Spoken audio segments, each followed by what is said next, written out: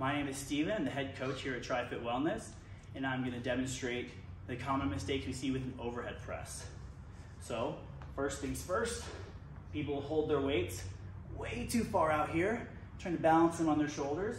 Not good, just for shoulder health. We want the hands 20 to 30 degrees, elbows 20 to 30 degrees in front of us.